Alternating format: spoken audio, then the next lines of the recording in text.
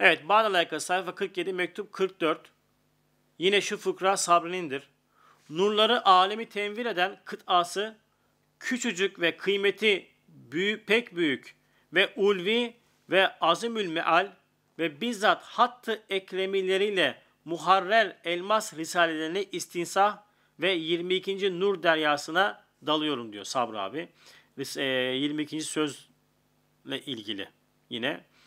Nurları alemi tenvir eden, kıtası küçük ve kıymeti pek büyük ve ulvi ve azimül meal.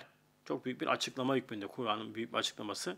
Ve bizzat hak, hatta ekremileriyle, muharrer elmas risalelerinde. Demek ki Üstadın yazmış olduğu bir bölüm eline geçmiş Sabri abinin.